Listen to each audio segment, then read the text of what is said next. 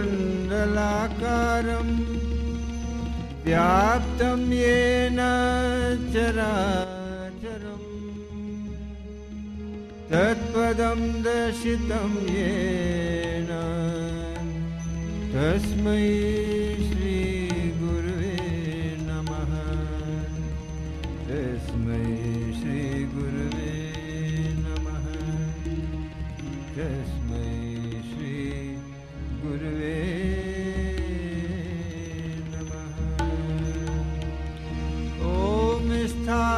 स्थापकाय च धर्मस्य सर्वधर्मस्वरूपिणे। अवतार वरिष्ठाय श्रीरामकृष्णाय ते नमः।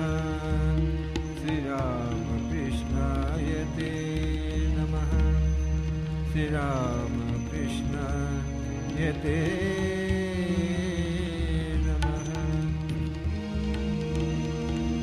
पवित्रं चरितं यस्य पवित्रं जीवनं तथा पवित्रता स्वरूपिण्यै तस्यै देव्यै नमो नमः। शारदा देव्यै नमो नमः। तस्यै देव्यै नमो नमः। नमः श्रीयतिराजाय विवेकानन्दसूरये सच्चित् सुखस्वरूपाय स्वामिने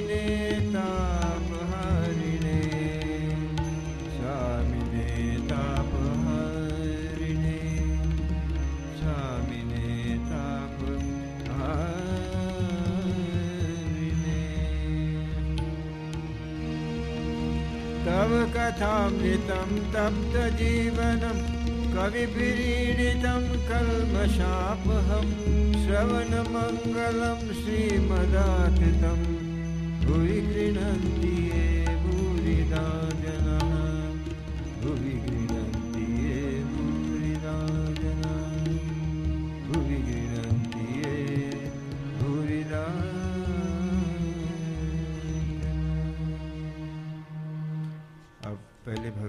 करेंगे मन और वाणी को पवित्र करने के लिए। और रामकृष्ण नाम का ही इसमें एक एक अक्षर को लेकर के महिमा गाई गई है।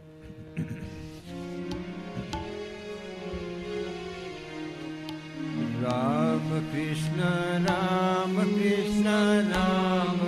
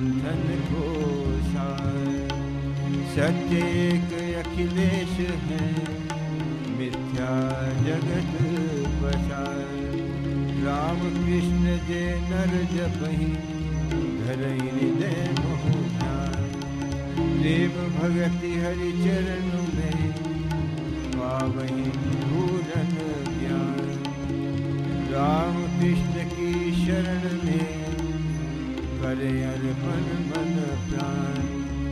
उनका अंतिम जन्म है आवागमन। पिछले रविवार प्रसंग चल रहा था। किस प्रकार से भगवान श्री रामकृष्ण वैष्णव धर्म के विभिन्न जो पाँच भाव हैं, एक के बाद एक की साधना करते चले आ रहे हैं। उन्होंने वात्सल्य भाव, दास भाव, सखा भाव, और इसकी हमने चर्चा की थी। इसके बाद आता है चौथा मधुर भाव। श्री रामकृष्ण के जीवन में बचपन से ही देखा जाता है, ये मधुर भाव का भी प्राकट्य हुआ था। विशेषकर यौवन में। यौवन में अद्भुत वासना का उदय उनके मन के अंदर उत्पन्न हुआ। श्री रामकृष्ण बहुत सारे संकल्प करते थे, कल्पनाएँ करते थे, भावों के बीच में रहते थे, भावों में बहते थे। तो एक कल्पना उनके मन के अंदर अति सुंदर आई। राम कृष्ण ही वास न जागी गज गोपिका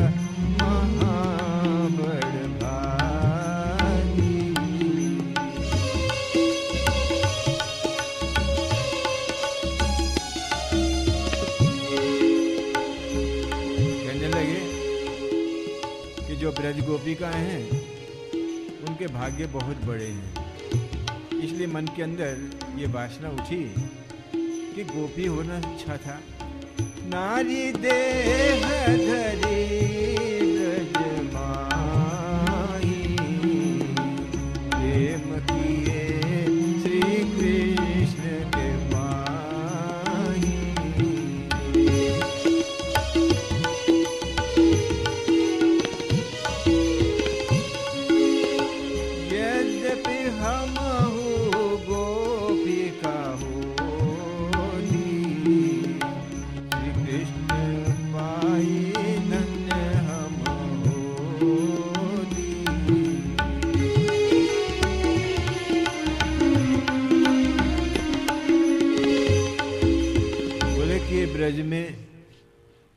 श्री कृष्ण में बावरी होकर के नारी का शरीर धारण करके ब्रज में गोपिकाएँ फिरती थी।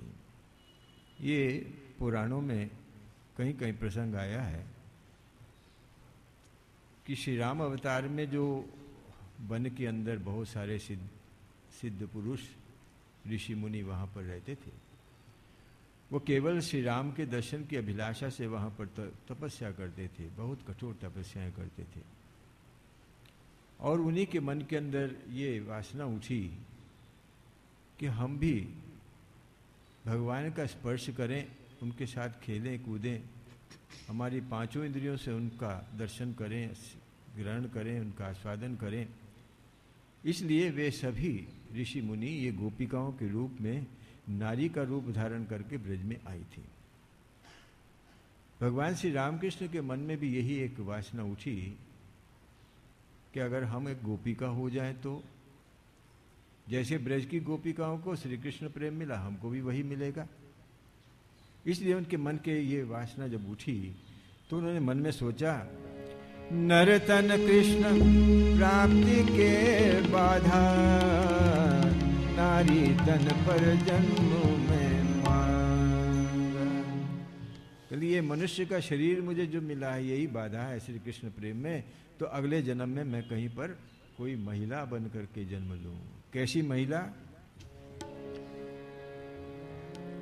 ब्राह्मण गेह बाल विधवा जन्मू। ब्राह्मण गेह बाल विधवा जन्मू। दीर्घ केशियति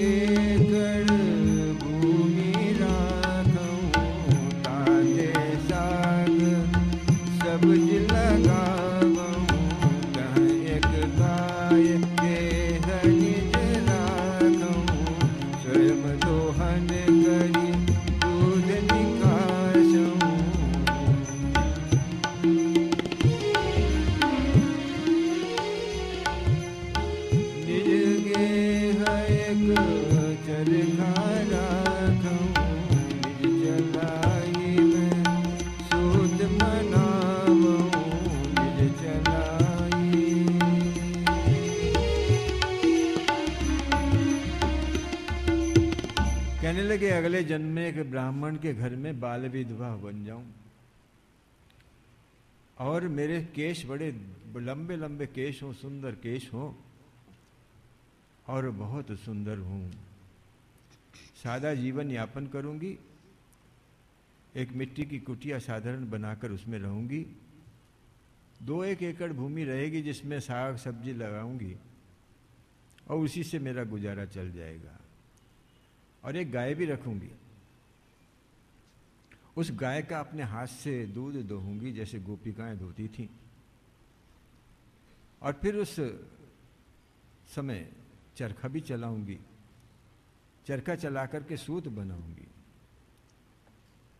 कैसी अद्भुत उनकी कल्पना। कहने लगी कि उस समय जब मैं चरखा चला रही होंगी, चरखा चलावन के समय गावहूं भजन संगीत। साय बनाई दूध से मोदक अति स्वादिष्ट। चरखा चलाने के समय केवल भगवान का नाम करूँगी, भजन करूँगी, उनका संगीत करूँगी। और शाम को उस दूध से लड्डू बना करके तैयार करके रखूँगी, स्वादिष्ट भोजन। ये उनके मन के अंदर वासना उठी। क्योंकि गोपिकाओं का यही कर्म था। गोपिकाएँ सुबह से उठती, गाय की सेवा करती, केवल इसलिए कि गाय को अच्छी तरह से खिलाएँगी, सेवा करेंगी तो अच्छा दूध देगी। गाय अगर अच्छा दूध देगी तो उससे अच्छा दही बनेगा। अच्छा दही बनेगा तो उससे जब मैं ठंडा करके उसको रिड़कूँगी उसमें मंथ, मंथ, मथानी से मंथन करूँगी तो अच्छा मक्खन निकलेगा। वो मक्खन जिस समय कृष्ण खाएगा तो बहुत आनंद उसको होगा। अर्थात जो कुछ भी कर्म सुबह से वे कर रही थी वो उसी के लिए। यहाँ भी भगवान कह रहे हैं कि मैं उस समय चरखा चलाते हुए भगवान का भजन करूँगी कृष्ण का और शाम होने पर दूध से लड्डू बना करके और बड़ा स्वादिष्ट लड्डू बनाऊँगी और उसको उन अपने हाथों से खिलाऊँगी। निज हाथों यही मोदक यही इच्छा एकांत में बैठूं। अब विरहीन तब व्याकुल में रोबहूं गोप रूप श्री कृष्ण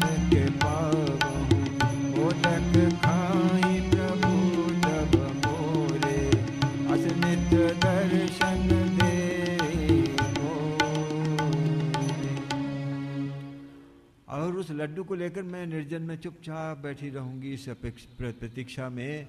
कब कृष्ण आएँगे, कब खाएँगे? गोपिकों का भाव यही था। वो मक्खन बना करके और छीके पे रखती थी, लेकिन इतना ऊँचा भी नहीं रखती थी जो वो ना पहुँच पाए और इतना नीचा भी नहीं करती थी कि जो सहज में पाए। क्योंकि वो जब आएगा, अपने दोस्तों के साथ और फिर उसमें पिरामिड बना करके ऊपर उठेगा और जब उसमें हाथ दे करके मुँह में खाना शुरू करेगा, तब तक हम छुप करके देखेंगे। और जैसे ही वो उसमें हाथ देगा, मुँह पर लगाएगा तभी ज़ोर से ताली बजा करके, ऐ, ऐसा जब पुकारेंगे तो वो डर जाएगा, डर करके जो भय का उसका शक्ल होगी, भयभीत से कृष्ण, मुँह में लगा हुआ मक्खन, हाथ में लगा हुआ मक्खन चोरी पकड़ी गई, इसलिए कैसा स्वरूप होगा, उसका आनंद लेना चाहती थी।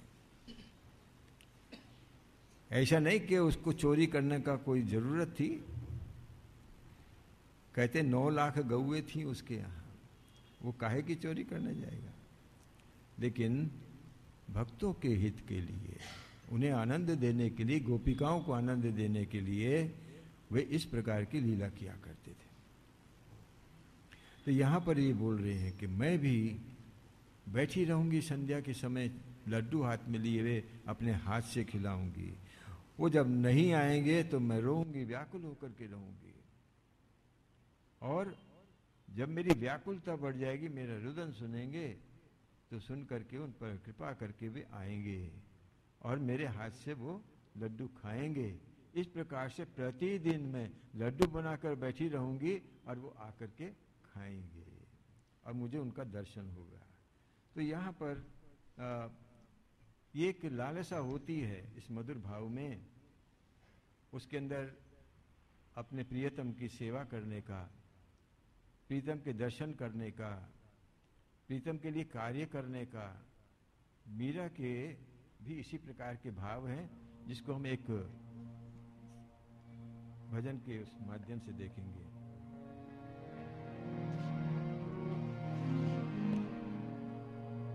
श्याम मन चाकर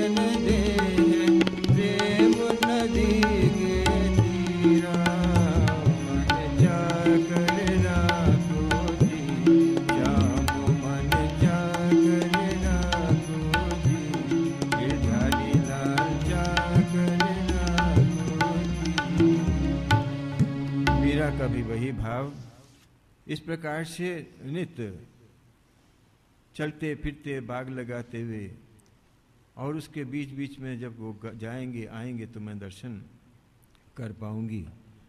रात को गहन रात्रि में उनके दर्शन पाकर धन्य हो जाऊँगी। इस प्रकार की भावना रही। श्री रामकृष्ण का भी इसी प्रकार से संकल्प उनके मन के अंदर उठते रहे, और वे चाहते थे कि मैं भी एक नारी का जन्म लेकर के इस प्रकार से साधना करूँ। श्री राम कृष्ण के यौवन की।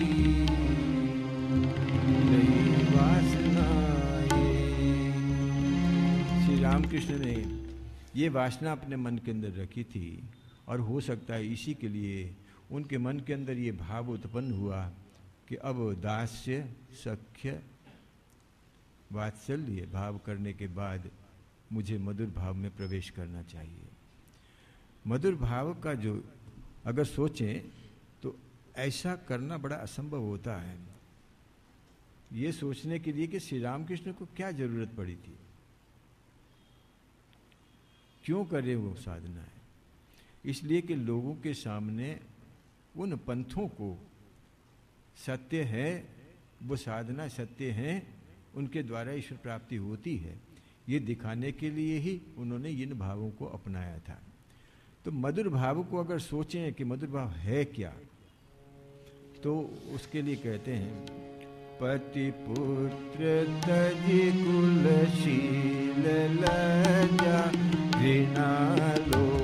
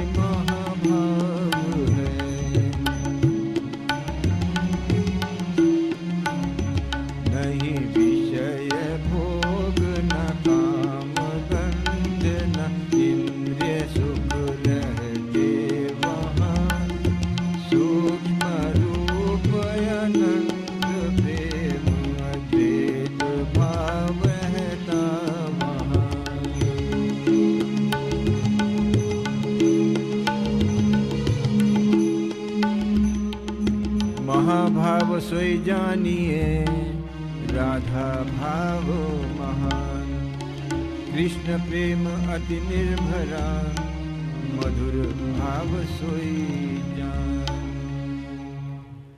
पति पुत्र को छोड़कर, कुल की शील और लज्जा मर्यादा को छोड़कर, घृणा, भय को छोड़कर काम गंध शून्य, जिसमें काम की कोई गंध नहीं हो, ऐसा पवित्र प्रेम व्याकुलता इसी का नाम है राधा। इसी का नाम है महाभाव। श्री कृष्ण प्रेम में जो रमन सुख है, उससे अधिक आनंद और कोई भी सुख नहीं है। देह, मन, बुद्धि, इसका सुख नहीं, इससे रहित वह प्रेम, उसी को महाभाव कहते हैं, उसी को राधा कहते हैं। जहाँ विषय भोग नहीं हो, कोई कामना नहीं हो, इसकी गंध भी ना हो जहाँ इंद्रिय सुख की कोई कामना ना रहे, सूक्ष्म रूप अनंत प्रेम, अद्वैत भाव जहाँ रहता है, उसी को राधा भाव जानना चाहिए, उसी को महाभाव जानना चाहिए। ये कृष्ण प्रेम जो उसके ऊपर ही निर्भर करता है, उसके सिवा और किसी से प्रेम नहीं, केवल एक उसी से प्रेम हो। इसी को कहते हैं महाभाव। इसी को कहते हैं मधुर भाव। एक ही पुरुष और बाकी तो सब महिलाएँ हैं। ये भाव होता है वैष्णव का भाव। मीरा जी जब वृंदावन गई तो उनकी इच्छा हुई कि वे दीक्षा लेंगी। गोस्वामी जी के दरवाजे खटखटाए। अंदर से संदेश मिला कि वो किसी भी नारी का मुख नहीं देखते हैं।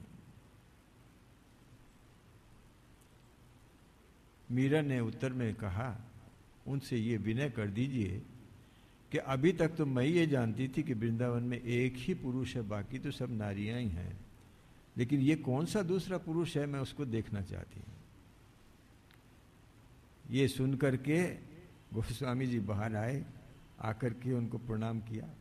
नहीं, ये मेरे मन की आँखों को तुमने खोल दिया। अर्थात पुरुष तो एक वही पुरुष है ये भाव जिसके हृदय में आ जाता है तो ये नारी भाव का मन हो जाता है। इसलिए कृष्ण तो एक वही पुरुष हैं।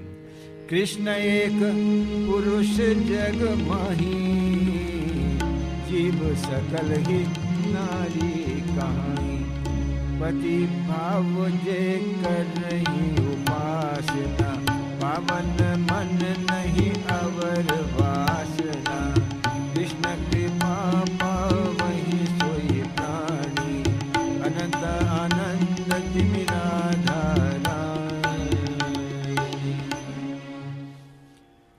कृष्ण तो एक ही है जगत में। बाकी तो सब नारी ही हैं, सारे जीव जितने भी हैं। वैष्णव भाव में इस प्रकार का एक बार मौका मिला था बरसाना जाने का। वहाँ पर गए तो एक मुनि जी मेरे साथ में थे। वही ले गए थे दिखाने के लिए। बड़ी अद्भुत अद्भुत जगहों पर ले गए। तो मंदिर के कोने में एक महिला घूंघट निकाले हुए बैठी हुई थी। तो वो बोले कि इसको प्रणाम करो। उस समय हम साधु नहीं बने थे। तो हम जितने भी लोग गए थे साथ में सबने उनको प्रणाम किया। क्यों? क्यों करना है वो तो नहीं पूछा। प्रणाम किया। तो उससे पूछा, आप कैसी हैं? तो अंदर से आवाज़ आई, हम तो अच्छे ही हैं। अरे, ये कैसी आवाज़ है? तो पता लगा वह पुरुष है। वो साधना कर रहा है गोपिकाओं के भाव में। वहाँ बैठा है, वो अपने को गोपी समझता है। तो ये एक वैष्णव मत में एक विशेष भाव रहता है। ये भाव आ जाए तो और एक साधक के पास ले गए वो हमको। उसने अपने दरवाजे बंद किए हुए थे, कुटिया थी उसकी। बहुत खटखटाया, नहीं खोलते, वो कभी नहीं खोलते हैं। लेकिन ये मुनि जी बहुत बड़े ये भी साधक थे। इन्होंने ज़ोर से खटखटा कर कहा, मैं चेतन मुनि आया हूँ, खोलिए। तो उन्होंने खोला। खोल करके बोले अच्छा नमस्कार। बोलकर बंद करने लगे। बोले, सुनिए सुनिए, बहुत दूर से आए बच्चे हैं। जरा इनको थोड़ा सा दो शब्द तो बोल दीजिए। तो भीतर में ले गए, ले जा करके बैठे, आँख बंद करके बैठे हैं। तो हमने हाथ जोड़ करके कहा, कुछ बोलिए। तो कहने लगे, मैं मरीज़ अक्ल था। मैं मरीज़ अक्ल था, मस्ती ने अच्छा कर दिया। क्योंकि वो एक प्रोफेसर थे। और प्रोफेसर थे, उनको बड़ा अपना अहंकार था डिग्रियों पर और प्रोफेसर का। एक बार गए थे वहाँ पर बरसाना में अपनी पूरी टीम को लेकर के एक्सकर्शन के लिए। वहाँ जाकर के उस वातावरण में उनका इतना प्रभाव पड़ा उनको कि वो तो बाकी स्टूडेंट्स तो चले गए, लेकिन वो वहीं पर रह गए और तब से वहीं थे। उन्होंने इस भाव को लिया, ये मधुर भाव से वो वहाँ बैठे तपस्या कर रहे हैं। कई वर्षों के बाद ये हम पहुँचे थे तो हमको उन्होंने यही एक सबक दिया, मैं मरीज़ अकल था, मस्ती ने अच्छा कर दिया। ये जो मस्ती आ जाए एक बार, ये प्रेम आ जाए, कृष्ण प्रेम तो सब कुछ इसमें बह जाता है। इसलिए जो भी पति भाव से उनकी उपासना करते हैं। उनका मन पावन हो जाता है, पवित्र हो जाता है, उसमें कोई इंद्रिय वासनाएँ नहीं रहती, विषय की वासनाएँ नहीं रहती। कृष्ण कृपा उनको मिलती है और अनंत आनंद मिलता है और वो जो भाव मिलता है, वह भाव, ये गोपिकाओं का भाव जब अपने चूड़ा पर पहुँच जाता है तो प्रमुख गोपी राधा महाभावा। निज सुख सकल कामना त्यागा। श्री कृष्ण सुख निज सुख मान कृष्ण बिना अत्यंत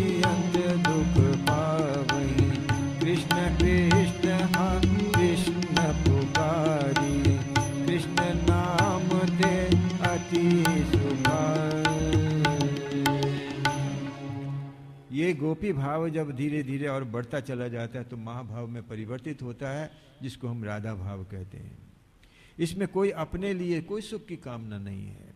सारी अपने सुख कामनाओं को त्याग करके सिर्फ़ कृष्ण के सुख में सुख है और उसी को अपना सुख मानती है। कृष्ण के बिना अत्यंत दुख मानती है। उसकी अनुपस्थिति में महादुख उसको होता है और कृष्ण रहने से चाहे कैसे भी हो, उसको सुख होता है। वे तो केवल कृष्ण कृष्ण, हा कृष्ण हा, कृष्ण, बस इतना ही जानती है। और उसके कृष्ण कहने पर उसको जो सुख मिलता है, वो अत्यंत गंभीर होता है। कहते हैं, राधा बैठी हुई है, भगवान कृष्ण की याद कर रही हैं। लेकिन उनको ऐसा लग रहा है, भगवान कृष्ण बहुत पास में वास्तव में वहाँ थे नहीं। लेकिन उनको लगता है। और कभी ऐसा भी होता था कृष्ण की गोदी में उनका सिर रखा हुआ है, लेकिन वो सोचती हैं कि कृष्ण बहुत दूर हैं विरा में वो रो रही है। ये भाव का साम्राज्य है। ये भाव का साम्राज्य है जहाँ पर कृष्ण प्रेम, कृष्ण नाम, उसको सुख देने वाला होता है। और ये बड़ा पवित्र प्रेम होता है।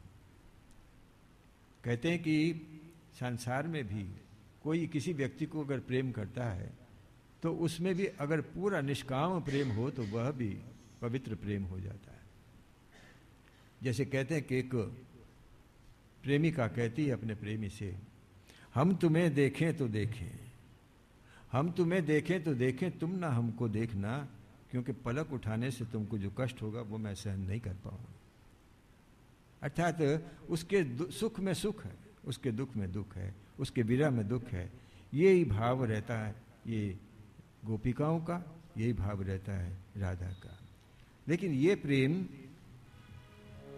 इस संसार का प्रेम नहीं है, ये सीमित प्रेम नहीं है, ये इंद्रिय गम में नहीं है, ये मन से अनुभव करने वाला नहीं है, ये विचार करने वाला नहीं है, बल्कि भावातीत अवस्था हुई, मधुर भाव तब सिद्धि यही भाव नर नारी जे पावही। श्री कृष्ण धाम सहज दे ये भावातीत अवस्था है। यहाँ पर ना शरीर रहता है, ना इंद्रिय रहती हैं, न मन रहता है, न बुद्धि रहती है। ये उसके ऊपर की अवस्था है। जो भी नर नारी इस भाव को प्राप्त करते हैं, वह तो सहज में ही कृष्ण धाम को पहुँच जाते हैं। लेकिन ये भाव का आश्रय करके ही कृष्ण को पाना होता है। श्री राधा रानी कृपा बिना श्री कृष्ण दर्शन ना हो यही विचार श्री राम कृष्ण, श्री राधिका शरणागत हो राधा रानी के इस भाव को नहीं ग्रहण करने से कृष्ण के दर्शन नहीं होते। इस विचार को करके श्री राम कृष्ण ने मन के अंदर सोचा कि मुझे भी राधा भाव लेना चाहिए। इसलिए उन्होंने मधुर भाव की साधना करने का मन में ठान लिया। जस जस भाव उदित भये, जस तस रूप बनाए। श्री राम कृष्ण करी साधना, भाव समाधि पाए श्री रामकृष्ण के जीवन में हम देखेंगे, जब जब उन्होंने जिस भी भाव को अपनाया, भाव का मतलब क्या है कि ईश्वर के साथ वो संबंध बनाना जो संसार में है। पुत्र होता है तो वात्सल्य भाव, पति होता है तो मधुर भाव सखा होता है तो सख्य भाव, स्वामी होता है तो दास्य भाव और पांचवा है शांत भाव। इन पाँच भावों को अपना करके हम ईश्वर को प्राप्त कर सकते हैं। तो श्री रामकृष्ण के जीवन में हम देखते हैं कि उन्होंने सभी भावों को लिया। जिस समय वात्सल्य भाव लिया तो रामलला के साथ यशोदा का संबंध बन गया। यशोदा ने कौशल्या का संबंध बन गया। जिस समय सख्य भाव लिया तो खुद सखी होकर के माँ दुर्गा को चमर ढलती रही। और जिस समय उन्होंने दास भाव लिया तो माँ दुर्गा की सेवा करती रही। इस प्रकार से श्री रामकृष्ण ने जब भी जब कुछ भाव लिया, दास भाव में हनुमान जी की का रूप बनाया। और उस समय हमने ये वर्णन किया था कि उनके जो कॉक्सिस है वो तीन इंच बढ़ गया था। शरीर में परिवर्तन हुआ था। उनकी जैसे पूछ निकल आई हनुमान जी की तरह से तीन इंच ये उनके शरीर पर परिवर्तन हुआ था। लेकिन उस समय वो हनुमान जी की तरह से पीछे कपड़ा बाँध करके, पूछ बना करके जंगलों में रहने लगे, पेड़ों पर खाने लगे, जो कुछ भी मिल जाता, फल इत्यादि उसको खाते और राम, श्री राम श्री राम करते थे। अभी उनका जब ये मधुर भाव आया तो उसी प्रकार से श्री रामकृष्ण ने सोचा कि अब कैसा रूप बनाना चाहिए। मधुर भाव उदित मन भय, सोई भाव मन तन में तन मन जीवन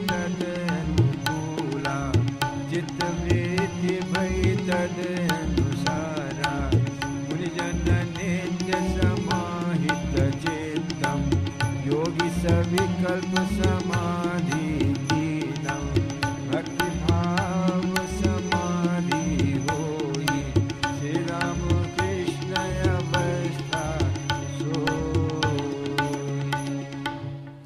मन में मधुर भाव उत्पन्न हुआ तो मन भी वैसा ही होने लगा। तन में होने लगा उसमें। तन, मन, जीवन सब उसके अनुकूल बनने लगा। शरीर भी वैसा का वैसा होने लगा। चित्त वृत्तियाँ भी वैसी होने लगी। अर्थात वे जो मुनिजन नित्य समाहित करते हैं अपने मन को, इस प्रकार से इन्होंने श्री कृष्ण प्रेम में अपने को समाहित कर दिया। योगी विकल्प सविकल्प समाधि लेते हैं, वो कुछ रूप लेकर के चलते हैं। इन्होंने भी श्री कृष्ण रूप लेकर के आगे चलने की ठानी।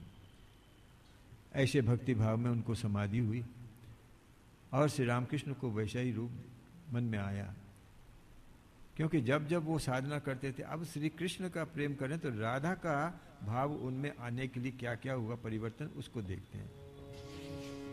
जब जो साधना कर बना वही। वेशभूषा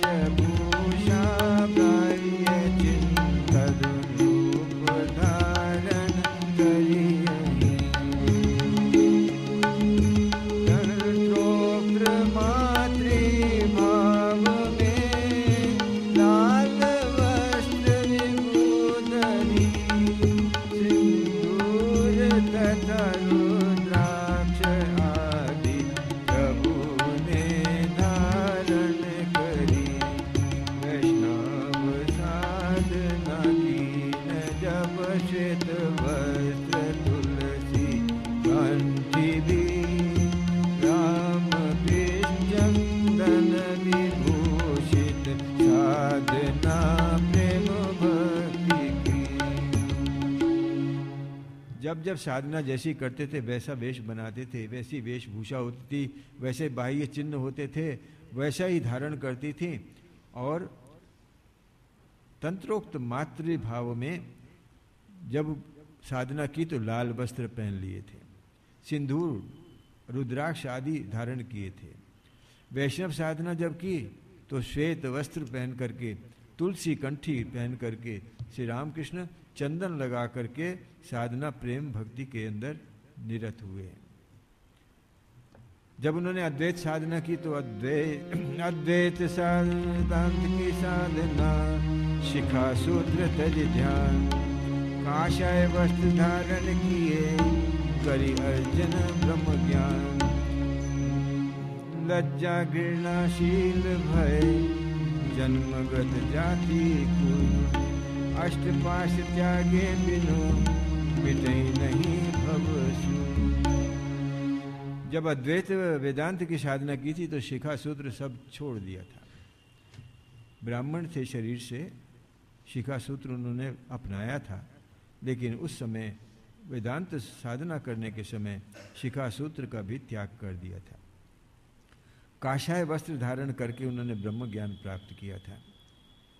लज्जा घृणा शील भय जन्मगत जाति कुल का अभिमान आठों पाश त्याग दिए उन्होंने क्योंकि उसके बिना ये भवसागर से मुक्ति नहीं होती। लेकिन जब राधा का चित्त होने लगा राधा की साधना करने लगे तो श्री राधिका चित होई, स्मरण मनन ध्यान करि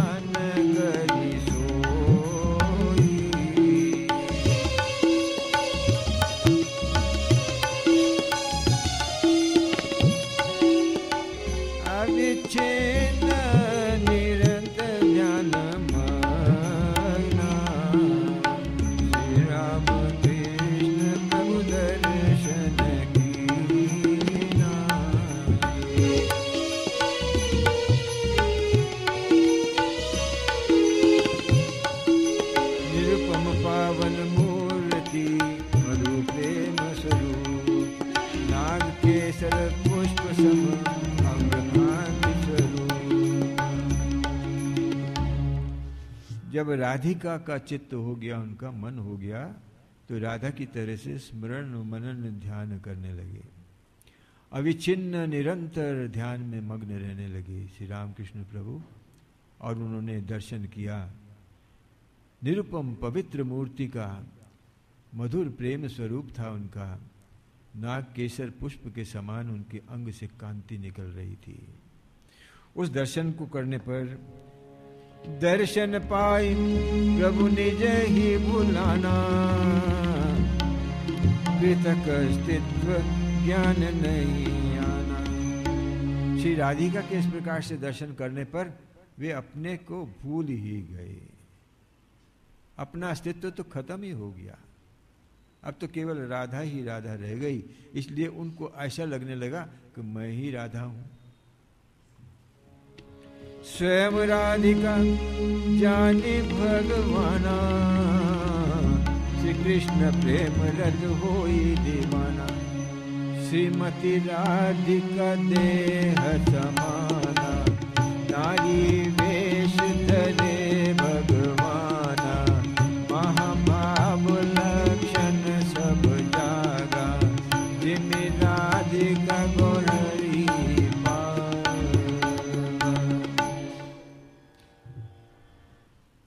स्वयं को राधिका जान करके भगवान कृष्ण के प्रेम में दीवानी हो गई। श्रीमती राधिका के देह के समान उनके भी शरीर के अंदर परिवर्तन होने शुरू हो गए। पहले तो उन्होंने नारी वेश रखा, साड़ी पहनना शुरू कर दिया। महाभाव का लक्षण तो यही है जिसके द्वारा राधिका का स्वरूप उनको प्राप्त हुआ। पुरुष भाव विलीन हो गया। नारी भाव तन मन से नारी भाव होने लगा। मधुर भाव, साधन प्रभु की ना नारी वेश नारी वेश तो बना लेंगे, लेकिन ये कहाँ से आएगा? राधा ने तो साड़ी पहनी है, राधा ने गहने पहने हैं। राधा के सिर में भी, कानों में भी, नाक में सब जगह पर गहने ही गहने हैं। हाथ में भी और पाँव में भी गहने ही गहने वो कहाँ से आएँगे? तो मथुरा नाथ व्यवस्था की बनारसी साड़ी भी दीनी। कबहू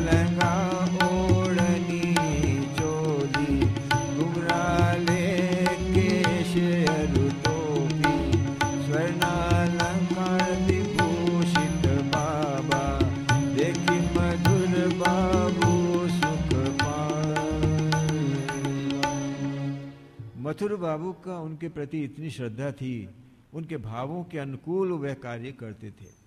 और अभी तो इस स्थिति में थे कि उनके मुँह से निकलना चाहिए, कार्य पूर्ण होगा। लेकिन जब उन्होंने देखा कि श्री रामकृष्ण इस समय ये राधा के भाव में जाना चाहते हैं तो उन्होंने उनके लिए सारी व्यवस्था कर दी। बनारसी साड़ी मंगाई गई, लहंगा ओढ़नी चोली मंगाई गई, घुंघराले बाल केश मंगाए, टोपी मंगाई और बहुत सारे गहने मंगाए गए। उसको श्री रामकृष्ण को वह सब पहनाने के बाद देख करके मथुर बाबू बहुत ही सुख पाए।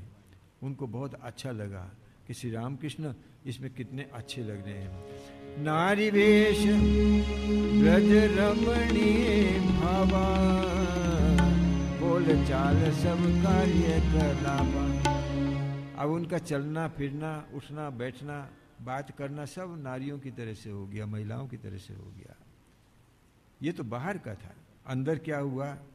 अंदर में देखते हैं।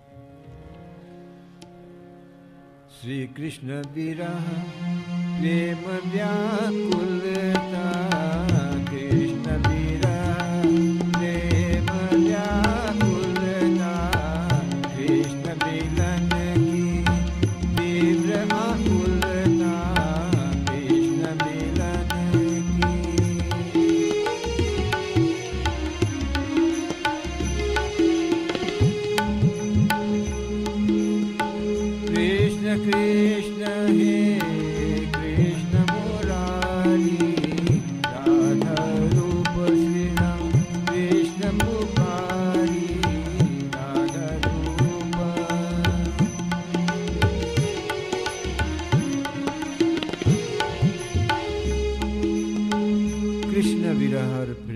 व्याकुलता उनके हृदय में।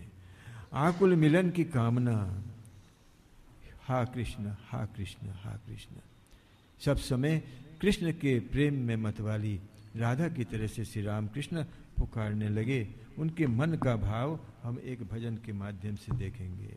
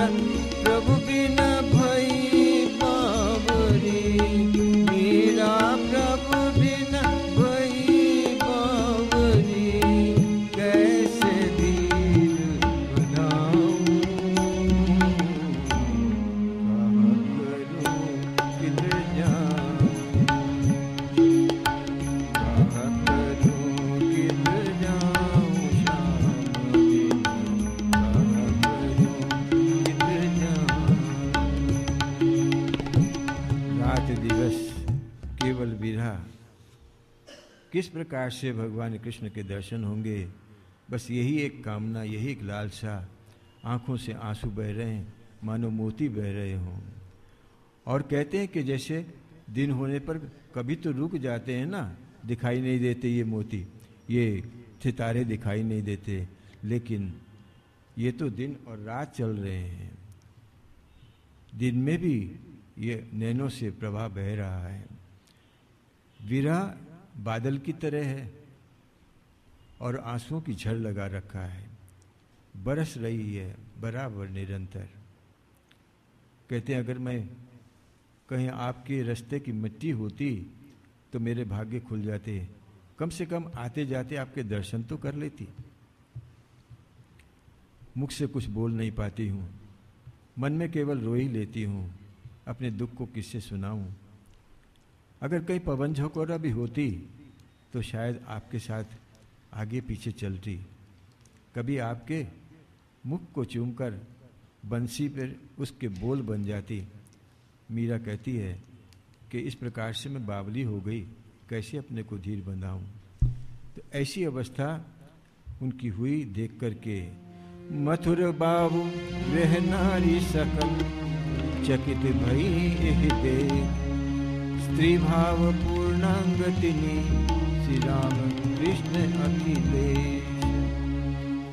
मथुर बाबू, उनके घर की सब नारियाँ ये देख करके चकित हो गए किस प्रकार से श्री रामकृष्ण पूर्ण एकदम स्त्री भाव में मग्न हो गए। और भी आगे गाथा है, भगवान कृष्ण, रामकृष्ण किस प्रकार से उस सखी भाव में, गोपिकों के भाव में, राधा के भाव में किस प्रकार का उनका आचरण बन गया कैसे कैसे उनका दैनिक जीवन रहता था, इसकी चर्चा आगे आएगी। अब भगवान नाम करके यहाँ समाप्त करते हैं। जय जय राम कृष्ण भगवान। जय माँ